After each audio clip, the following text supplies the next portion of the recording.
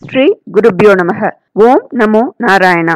அனைவருக்கும் நமஸ்காரம். சனிக்கிழமை சக்கரத்தாழ்வார்க்கு உகந்த தினம். ஸ்ரீ சக்கரத்தாழ்வாரை தரிசிக்க சக்கல தோஷங்களும் விலகும். அவரின் பரிபூரண அருள் கிடைக்க பெற்று நிம்மதியும் சந்தோஷமும் பொங்க வாழலாம் என்பது ஐதீகம். அதனால் ஸ்ரீ சக்கரத்தாழ்வாரை பிரார்த்தித்து சக்கல நோய்களிலிருந்தும் நிவாரணம் தரும் ஸ்ரீ சுதர்சன ஷட்கம் பார்க்கலாம். மும்மூர்த்திகளில் காக்கும் கடவுளான மகாவிஷ்ணுவின் கையில் இருக்கக்கூடிய பல்வேறு ஆயுதங்களில் முக்கியமானது ஸ்ரீ சக்கரம் பெருமாளின் பஞ்சாயுதங்களில் ஸ்ரீ சக்கரம் எப்போதும் தீ தீயவற்றை அழிக்க பெருமாளோடு கூடவே தயாராக இருப்பதாக ஐதீகம். பகவான் நினைக்கும் பணியை உடனே முடிப்பவர் அவர். அதனால் ஸ்ரீ சக்கரத்தாழ்வாரை விஷ்ணுவின் அம்சம் என்றே விவரிக்கிறது ஷில்ப சாஸ்திரம் பன்னிரு ஆழ்வார்களில் திருமழிசை ஆழ்வாரின் அவதாரமே ஸ்ரீ சக்கரம் அப்படின்னு புராணங்கள் சொல்றது. ஜுவாலா கேசம் திரிநேத்திரம் அஷ்டபுஜம் அஷ்டாயுதத்தோட காணப்படும் ஸ்ரீ சக்கரத்தாழ்வாரை வழிபடுவதால் முற்பிறவியிலும் இந்த பிறவியிலும் உண்டான பாபங்கள் மற்றவர்களால் ஏற்படும் ஏற்படும் தீங்குகள் தீவினைகள் தோஷங்களால் ஏற்படும் கெடுதிகள் யாவும் நீங்கும் என்பது நிச்சயம். சக்கரத்தாழ்வார்க்கு நெய் தீபம் ஏற்றி ஓம் நமோ பகவதே மகா சுதர்ஷனாய நமக அப்படின்ற மந்திரத்தை சொல்லி வணங்கி வர கிரக தோஷங்கள் நீங்கும். சக்கரத்தாழ்வார் விஷ்ணுவின் அம்சம் என்பதை உணர்த்தும் பொருட்டே அவரது திருவுருவத்தின் பின்னால் உபதேவதையாக நரசிம்மமூர்த்தி இடம்பெறுகிறார். சக்கரத்தாழ்வாரின் திருவுருவத்தையும் யோக நரசிம்மர் அல்லது இந்த ஜுவாலா நரசிம்மரையும் ஒரு சேர தரிசிக்க அழிக்க முடியாத பகையும் அழியும் நீக்க முடியாத பயமும் நீங்கும். இந்த ஸ்ரீ சக்கரத்தாழ்வாரையும் நரசிம்மரையும் சுற்றி பிரதட்சிணமாக வர நான்கு வேதங்களையும் பஞ்சபூத்தங்களையும் அஷ்டலக்ஷ்மிகளையும் அஷ்டதிக் பாலகர்களையும் வணங்கிய பலன் ஒரு சேர கிடைக்கும் அப்படின்னு சொல்லப்படுறது. மனிதனுக்கு பெரும்பாலான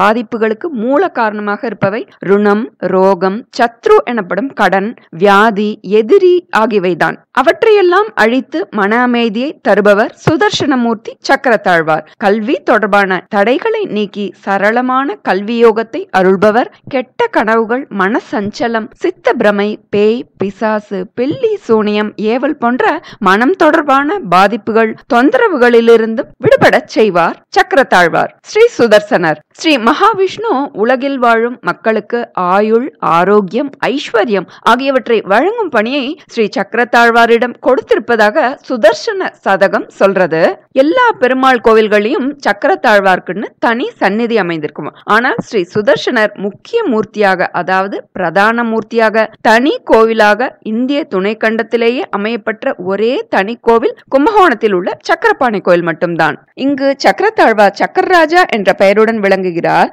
சூரியனின் ஆணவத்தை தன் ஒளியில் அடக்கி ஆதவனின் ஆணவத்தை அடக்கியமையால் இது பாஸ்கர கஷேத்திரம் அப்படின்னு அழைக்கப்படுறது. கோள்களின் நாயகன் சூரியன். சூரியன் இந்த திருத்தல மூர்த்தியான ஸ்ரீ சக்கரபாணி சுவாமியிடம் சரணாகதி அடைந்ததுனால நவக்கோள்களால் வரும் துன்பங்களும் சகல தோஷங்களும் இந்த சக்கரபாணி சுவாமியை வழிபட விலகும் என்பது நிச்சயம். தஞ்சையை ஆண்ட மன்னர் சரபோஜியின் மகளுக்கு ஒருமுறை தீராத நோய் ஏற்பட்டிருந்தது. இங்கு வந்து வழிபட்ட பின்னரே உடல் நோய் நீங்கப்பட்டு பூரண குணமடைந்தார். இந்த திருக்கோயிலை சுற்றி வந்து வழிபட்டாலே அனைத்து விதமான நோய்களும் பாதிப்பும் காணாமல் போய்விடுகிறது அப்படின்னு தலபுராணம் சொல்றது.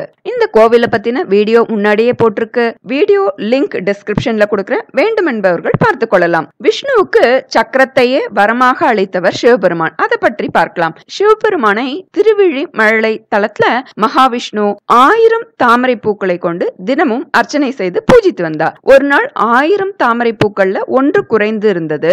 அதனால தொள்ளாயிரத்தி தொண்ணூத்தி ஒன்பது தாமரை பூக்களை கொண்டு அர்ச்சனை செய்த விஷ்ணு ஆயிரமாவது தாமரையாக தனது கண்களில் ஒன்றை தாமரையாக்கி அர்ச்சித்து பூஜையை முழுமை செய்தார். இதனால் மனமகிழ்ந்தார் சிவபெருமான். சக்கராயுதத்தை மகாவிஷ்ணுவுக்கு வரமாக வழங்கியதாக திருவிழிமழலை தலபுராணம் சொல்றது. ஸ்ரீ சக்கரத்தாழ்வாரை பிரார்த்தித்து நோய்களிலிருந்து நிவாரணம் தரும் ஸ்ரீ சுதர்சன ஷட்கம் பார்க்கலாம்னு பார்த்தோம். அதை பற்றி பார்க்கலாம். ஒரு முறை ஸ்ரீ ராமானுஜரோட ஐந்து குருக்கள்ல ஒருவரான திருவரங்க பெருமாள் அரையர் நோய்வாய்ப்பட்டிருந்தார். அப்போ அந்த நோய் நீங்க வேண்டி ஸ்ரீ கூரத்தாழ்வானோட வேண்டுகோளோட சுதர்ஷன பகவானான ஸ்ரீ சக்கர தாழ்வாரோட தீவிர பக்தரான ஸ்ரீ குர நாராயண ஜீயர் அப்படின்றவர் தான் இந்த சுதர்ஷன ஷட்கத்தை இயற்றியிருக்கார். இந்த ஸ்தோத்திரத்தை மன உறுதியுடன் சொல்ல தீராத நோய்களும் தீரும் என்பது நிச்சயம் ஒருவரது துன்பங்களையும் பாபங்களையும் நீக்குகிறது. இந்த ஸ்ரீ சுதர்ஷன ஷட்கம் சொல்லி சக்கரத்தாழ்வாரை வணங்க அவர் வாழ்நாள் முழுவதும் பாதுகாக்கப்படுவார். எப்பொழுதும் வெற்றியை அடைவார். அவர்களது எதிரிகளை அழிக்கிறார். அனைத்து நோய்களையும் குணப்படுத்துகிறார் அப்படின்னு இந்த ஸ்தோத்திரத்துல சொல்லப்பட்டிருக்கு.